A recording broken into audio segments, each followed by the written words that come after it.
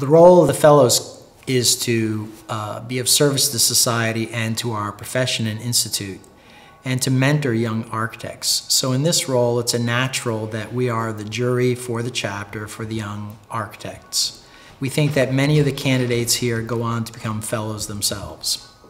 We look for a candidate's position within practice, either having their own firm or within another firm.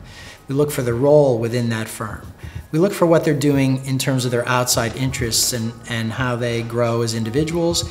And in particular, we're looking that their very impressive credentials package is matched by a wonderful set of letters of reference.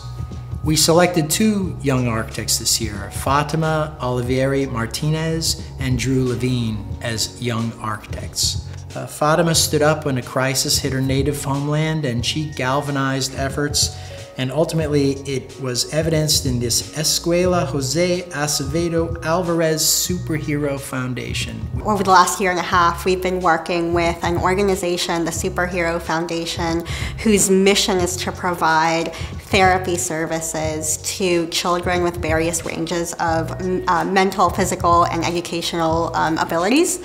And so we've been working with them to uh, vision a fully accessible school um, for these students because um, after Maria, uh, a lot of the schools had to close. That was half of the reasons for the hurricane itself and also for a lot of the economic issues that the island has been going through.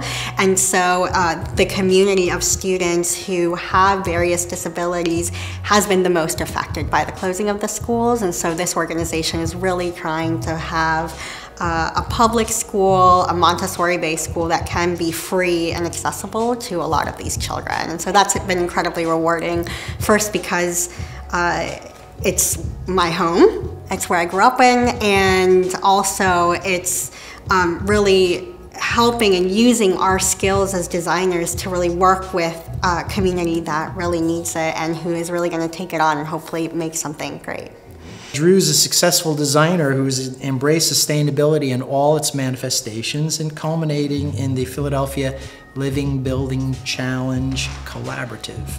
I got uh, deep into environmental activism with the organization 350.org, and that really kind of lit a fire in me that I needed to um, make sustainability the mission in my career. So this project is a, um, it's an adaptive reuse of a Pennsylvania stone bank barn. The design itself, um, it aspires for this, this really transformational space for uh, the people who are going to be working in the building. And it is also inside of a historic structure. And so we've got this really interesting interplay of historic architectural elements with some graceful modern interventions and the balance between the two of those. And we've also, because we're working with an existing building and trying to do some, some new things, encountering some really interesting building science stuff that we're coming up with some innovative solutions for.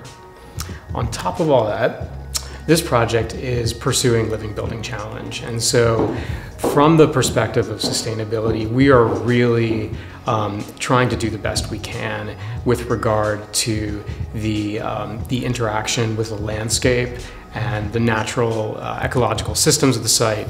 Uh, we're trying to close our water loop. We're reaching for net positive energy. We are trying to create a building with healthy materials that is equitable, and beautiful, loved, and educational. We know that the chapter treasures all of its rising members. As a committee, we welcome all the applications from these terrific architects, and we celebrate the duo who's won and look forward to all success in the future for them and their accomplishments.